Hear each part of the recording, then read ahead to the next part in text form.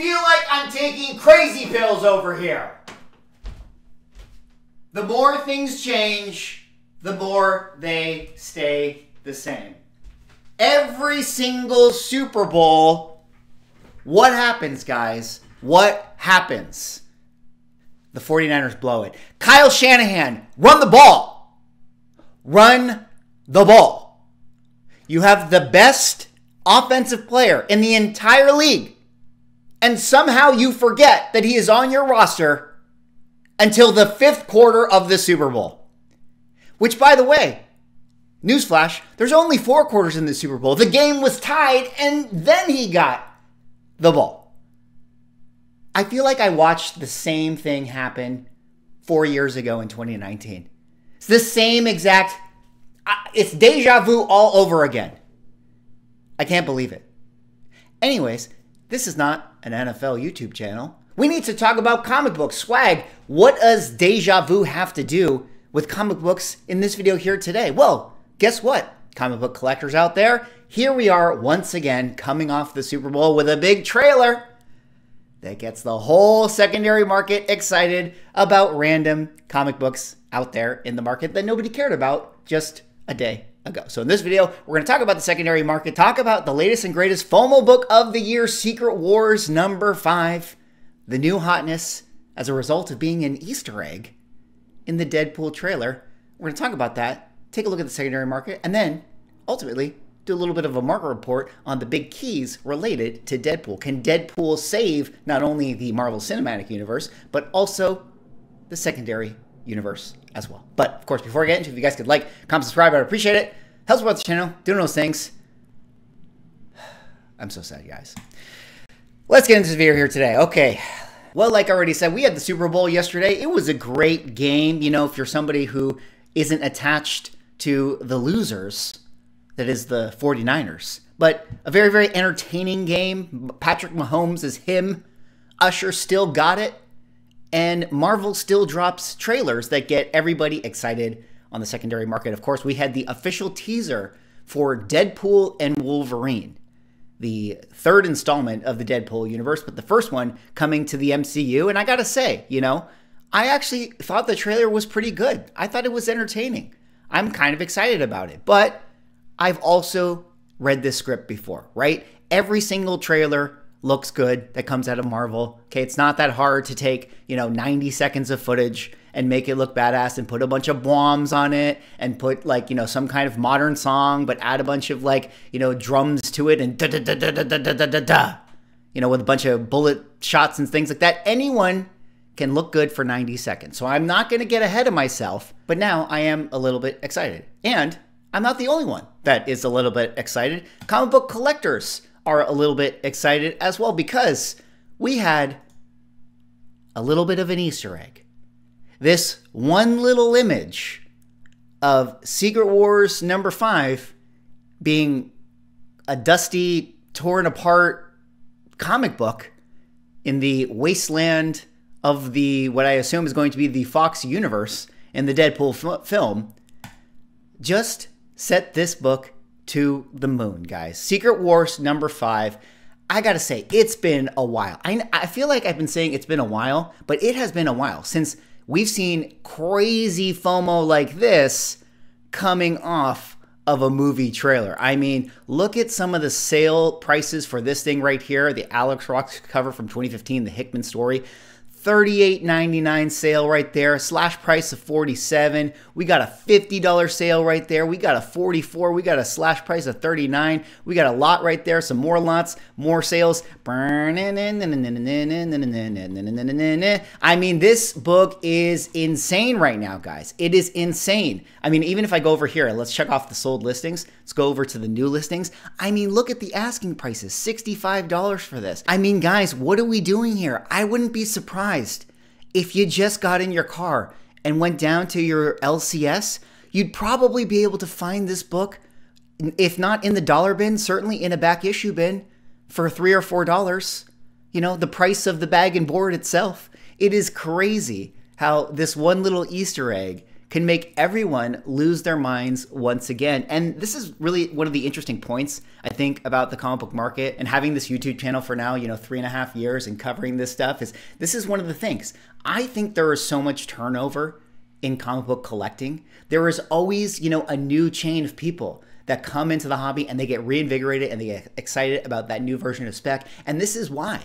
This is why FOMO will never go away, spec will never go away because people always come back. They always get brought back in. They go, oh, yeah, I remember comic books. I remember Deadpool. I remember the MCU. This is why, at a certain point, probably the MCU will come back because nostalgia is one hell of a drug and it makes people spend $50 on a comic book that was worth a dollar yesterday. So be careful out there if you're somebody who actually wants to buy this book. I promise you, you can find them in your LCSs. But this is not the only book that got a little bit crazy yesterday. Of course, I'm on the Key Collector app. Maybe Key Collector has a little bit to do with it because they're the ones putting out the news. But once again, new X Men, number 114. First appearance of Cassandra Nova, you know, a character apparently that is going to be showing up in the Deadpool film. I suppose this book got a little bit of a surge due to the fact that, you know, we got the trailer. And while this one isn't selling, you know, at a crazy amount of money, you know, $10 here, slash price of nine, you know, $14 here, uh, it is moving a lot coming off of that trailer. A ton of sales for this book right here. And I wouldn't be surprised if this book, along with Secret Wars number five, show up on all the hot lists this week. On top of that, we already have rumors right now that not only are we going to be getting Wolverine, who we clearly saw in the trailer, but we might be getting a variant of Wolverine as the patch version. Now, Wolverine number one from 1988 always sells. This is an always popular book, and generally speaking, it always will be a popular book, but I wouldn't be surprised to see a surge in this one right here, you know, a bounce back uh, coming off of the, the, the trailer, or maybe in like the weeks to come, this book might pick up a little bit of steam. But you know what we didn't get, and not so surprising, is we didn't get a lot of FOMO purchases on the Mega Grails. I don't necessarily think that we should expect that anymore. I mean, that was a once in a lifetime situation where we saw, you know, these types of books selling you know, for uh, crazy prices off, off of trailers in 2021, like actual keys and stuff. I mean, a FOMO purchase on a $50 book is not the same thing as a FOMO purchase on a $2,000 book, especially a $2,000 book that everyone knows that this is the second appearance of Wolverine. And uh, everybody has always had the opportunity to buy this one. But I did want to just talk about this key a little bit and talk about, you know, the market report aspect of it. This is one that, you know, I still think, you know, when we look at our comic book index and, and think about, you know, the COVID money getting pulled out of, you know, these types of books and, you know, are they a little bit inflated? I do think that the hype of, you know, Hugh Jackman in Deadpool has definitely kept this book afloat. It still is something that I think is a little bit of a risk, you know, when you're buying it right now, you know, especially if you get to later in the year after the movie has come and gone, you might be able to find opportunities. Also, you know, you were talking about the CGC situation, you know, this is a, a definitely a prime target book uh, for a lot of those ones. But uh, you know, if you're fearless out there, you may not care. But you know, you can see with this one, it, it takes a while for this book to uh, continue to go up. I mean, there's times in this book's lifespan where it has been on a plateau. I mean, from 2018 through you know the the COVID boom, the December 2020, it was pretty flat overall. I mean, it was at this $2,800 range, just sitting there for a long time, and that's something that you have to remember. Like, I think that you know outside of natural inflation, this book stays flat for a little bit of time because there are so many copies out there. I mean, there's 17,000 total graded. I mean, this is similar to New Mutants 98, you know, something that you guys have to be a little bit careful about. I mean, look at the lifespan of this book. Here you have this book that slowly goes up due to the rate of, you know, inflation, then gets a lift from the first Deadpool movie. And then look how flat it is for years. I mean, from 2014 after the first Deadpool film all the way to 2020, it's basically the same price. We have the COVID time, it corrects back down, and I would imagine that, you know, we're going to be at, you know, basically the same price for this book, say 1200 fair market value at the 9.8 for a long time. And the reason for that is that these are the types of books that people find in their collections. You know, there's still raw copies out there that can easily be graded as a 9.8. So you always have an influx of new 9.8s coming into the market, which is going to be the thing that prevents, you know, the book from scaling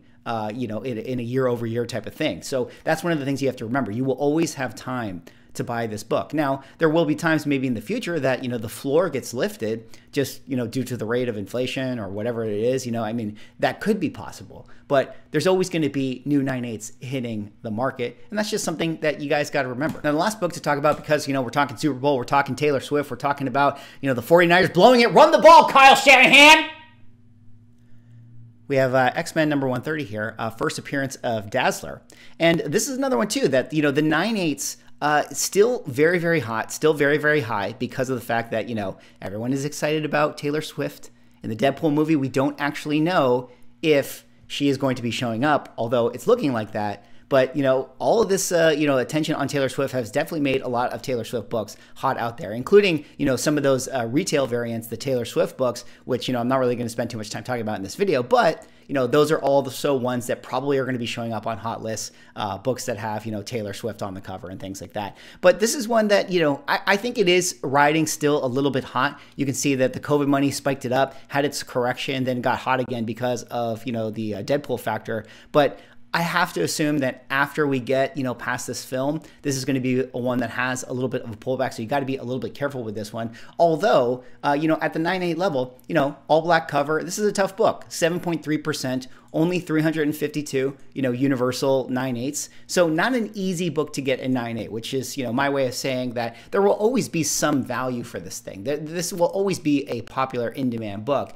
but, you know, can it hold sort of this like $1,800, $2,000 floor level, well, it's going to be kind of tough for it. But it is still a very cool book, and I'm sure that it'll be very, very exciting to see Taylor Swift show up as Dazzler in the Deadpool film, if in fact that is actually what happens. Well, that's all have for this video. That was me giving a little bit of a market report right there, you know, coming off of the Super Bowl. You know, it's deja vu, like I said. Every single Super Bowl, there's a new trailer, and then comic books go crazy again. And this is something that we have to talk about. This is the cycle we're in. You know, we're in that February timeframe. You know, uh, the the tentpole film that comes out in the summer movie year. There's seasonality to this. Like, you know, we, we come off, you know, December and Christmas. People start buying once again. You know, then we get the Super Bowl trailers, and everyone goes crazy once again for all those spec books. And then we ride into, you know, spring slash the summer when we have that tentpole movie. In this case, it's going to be Deadpool and Wolverine, and everyone is buying, buying, buying, buying, and going crazy. So we might feel that cycle, you know, in the next two or three months. And then there's a little bit of a summer pullback. And then during Halloween, October, November, that's when things, you know, get pulled back once again. And then, you know, we go into December and then the cycle continues. And this is, you know, what we have. And my head is spinning. And Kyle Shanahan calls literally the same game he called in 2019. Kyle, what are you doing? All right, I'm going to end this right now before I really start to lose it. You guys are not here to watch football content. That is my market report for the comic books out there. Secret Wars number five, the new hotness, is an Easter egg, guys. What, what could what could the book possibly be? What could it possibly be? H- how is it going to go for more in the future? This is it. This is the peak. If you have been specking on Secret Wars, this is the time. Everyone is selling because this is the time. If you really want this book, either wait or go to your LCS. It's probably in the back bin. It probably is in the back bin. Run the ball, Kyle. Anyways, that's all I got. Like, comment, subscribe. See you all next video.